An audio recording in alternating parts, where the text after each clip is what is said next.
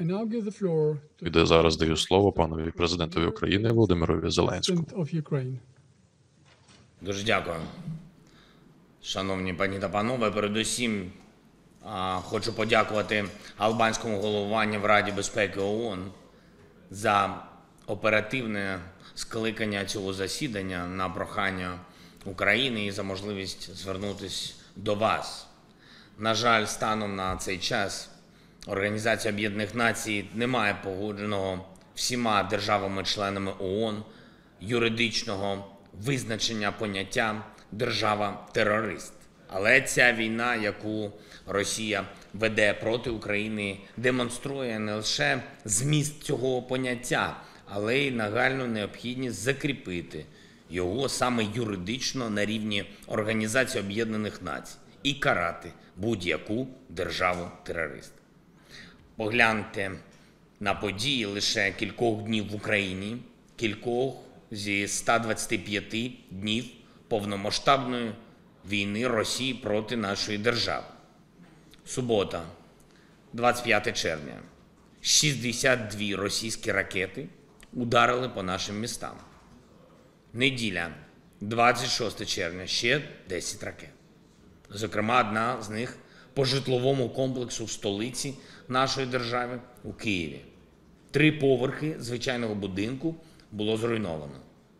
Інша ракета розірвалась у дворі звичайного дитячого садочка. Понеділок, 27 червня. Ракетний удар по Кременчуку. Той, хто здійснив цей удар, не міг не знати, що направляє ракету по звичайному торговельному центру, по одному з багатьох шопінг-молів, які є в будь-якій країні світу. Станом на цю годину відомо про загибель 18 людей. Але це число може, на жаль, збільшитись. Ще понад 50 людей поранені, ще десятки у списку зниклих безвісті. Знайдено сім фрагментів тіл, відірвані кінцівки, відірвані вибухом руки, ноги людей. Якщо Російська держава стверджує, що ці жертви нібито не від її ракетного удару, то я зараз пропоную Організацію Об'єднаних Націй направити або спеціального представника Генерального секретаря ООН, або повноважну комісію на місце цього теракту Кременчук, щоб ООН мала самостійну можливість дізнатись всю інформацію і побачити, що це дійсно російський ракетний удар. Вчора ж російська армія ударила з реактивної артилерії ще й по черзі людей, які стояли за водою. Це було в місті Лисичанськ, Луганської області. Звичайні люди, мирні. Ніхто з них не був військовим. Просто черга за водою. Вісім людей вбиті, серед них 15-річний хлопець. Звали його Данило. А найстаршому серед загиблих було 68 років. І я хочу, щоб ви почули зараз імена чотирьох жінок, вбитих цим ударом: Вікторія, Ірина, Олена, Людмила. Майже щоденно жорстоких російських ударів зазнає Харків. Тільки завчора 9 загиблих, 29 поранених, серед них п'ятеро дітей. Я ж хочу, щоб ви знали їхні імена. Гліб, йому 12 років, Олег, йому 8 років, Михайло, йому 11 років, Григорій, йому 9, Артем 10 років. Це був російський артилерійський удар по звичайним житловим будинкам. Сьогодні о 5 годині ранку російська армія ударила ще по Миколаєву і по місту Очаків, також Миколаївській області. В Очакові троє людей вбито. Дівчинка 6 років. Її звали Єва. Чоловік на ім'я Магомед, йому було 76 років. І жінка на ім'я Галина, їй було 50 років. Серед поранених дитина, хлопчик, йому всього 3 місяці. Він народився вже після початку цього повномасштабного російського вторгнення. Звати його Володимир. І його стан дуже тяжкий, і зараз він знаходиться в реанімації. Я наголошую, дитина трьохмісячна дитина.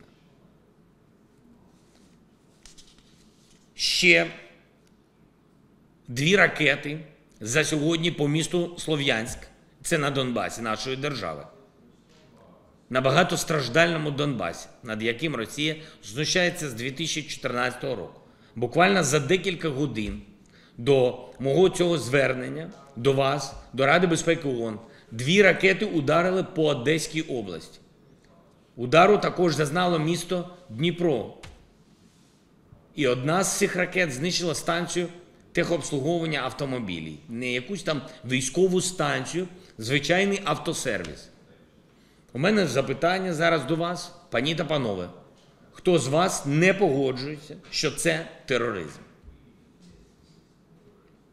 Якби в будь-якій частині світу будь-яка організація, ось так само, як Росія вбиває українців, вбивала би будь-яких мирних людей, то це точно було би визнано тероризмом. Така організація стала би ворогом для усього людства. А отже, те, що карається на рівні конкретних злочинців і злочинних організацій, не має залишитись безкарним і на рівні держави, яка стала терористичною. Щоденні терористичні акти без вихідних. Щоденно. Вони працюють терористами. Статут ООН покладає на Раду безпеки головну відповідальність за підтримання міжнародного миру і безпеки.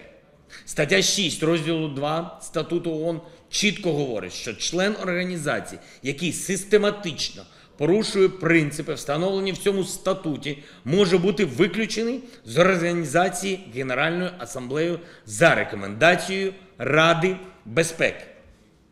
Хоча Росія порушує фундаментальні принципи ООН і міжнародного правопорядку, вона досі не притягнута до відповідальності саме на глобальному рівні.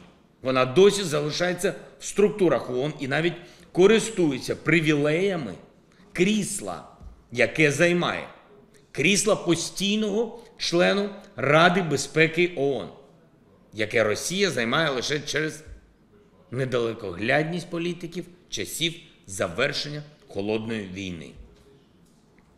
Росія не має права брати участь в обговореннях і голосуваннях щодо війни проти України, яка є неспровокованою і просто колонізаторською з боку Росії.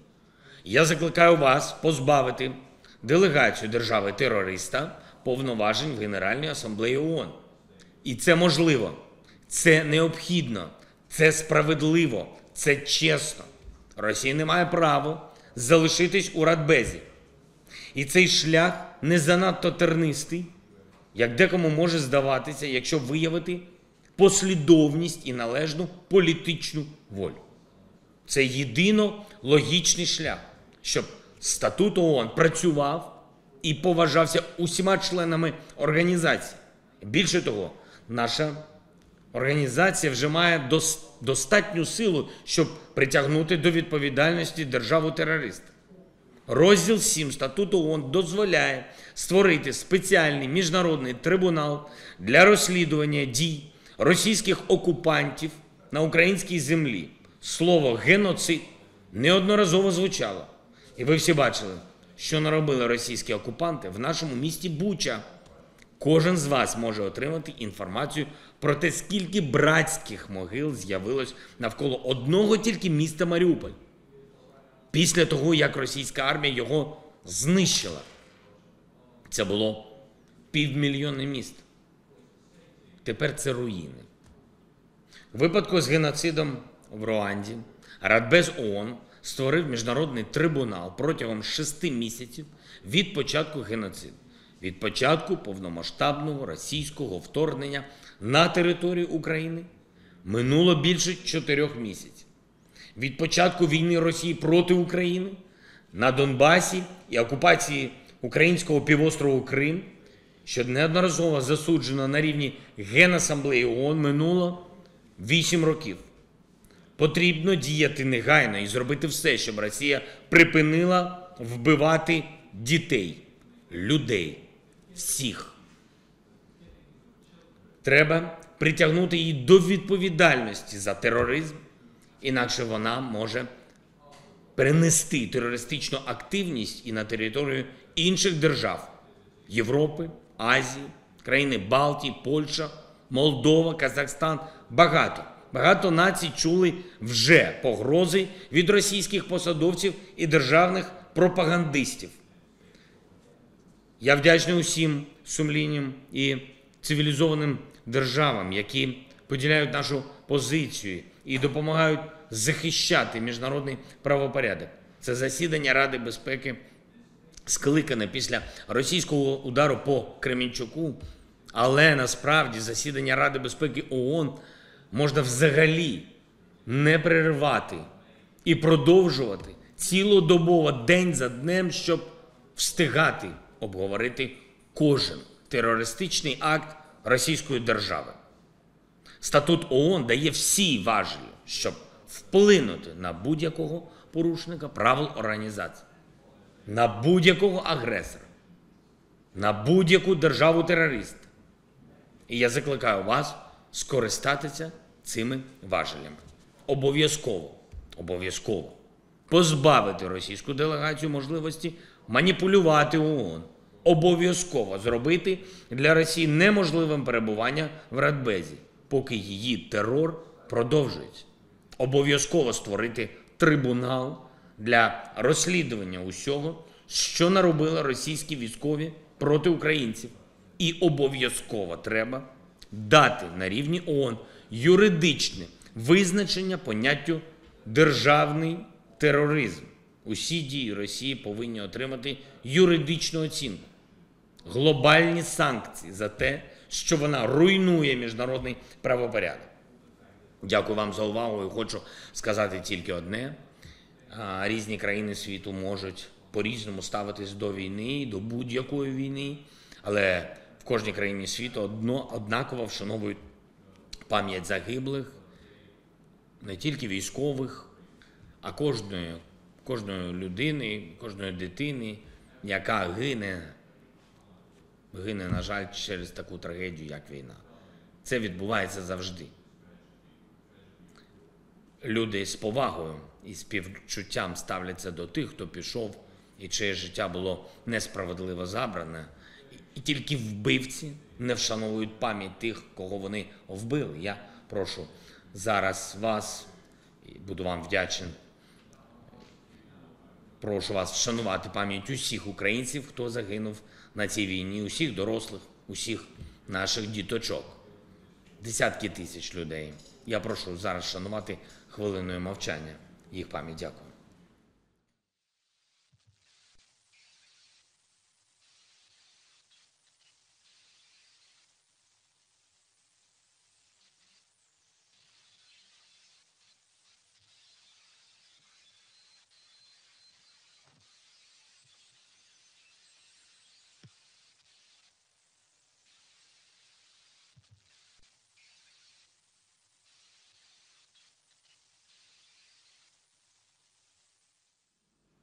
Дуже, дуже дякую. Дуже дякую. Для нас велика честь. Дякую за підтримку. Дуже дякую.